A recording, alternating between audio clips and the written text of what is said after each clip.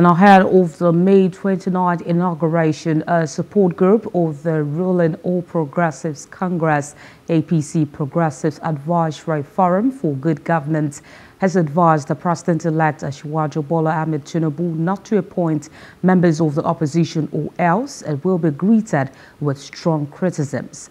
Furthermore, the group uh, cautioned that appointing members of the opposition will not only be a grave error but may ruin the performance of the Tinubu-led administration. The convener, Lord Borchers Emmanuel Nwosu, made this call when he addressed pressmen during the weekend in Abuja.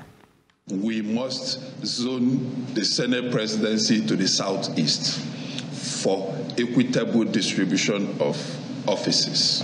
And um, I know too well that the party leadership will work with the president elect and his vice to ensure that there is equitable distribution of political offices. We have always maintained that we must not continue to push religion as the basis for putting forward individuals to run for office.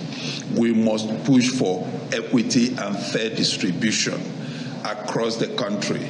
And I can assure you that the moment that is done, the issue of religion will be taken care of. We do know that the major contenders from the southeast zone, for instance, for that office are all Christians.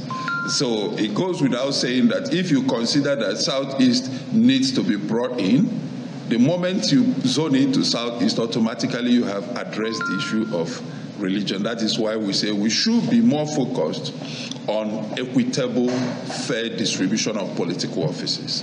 But we stand where our party leadership.